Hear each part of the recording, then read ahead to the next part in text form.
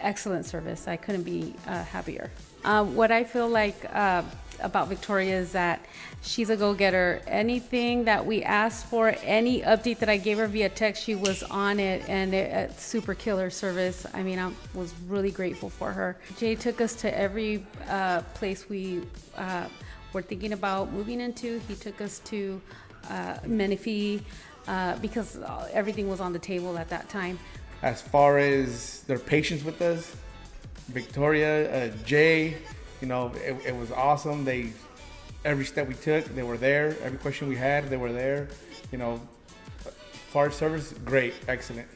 I found out about Select Premiers because I was going through Instagram and um, art, uh, advertisement popped up. So I was going through um, her page and then I just got more interested. So I clicked on the link and then filled out my information because this was around the time we were starting to look.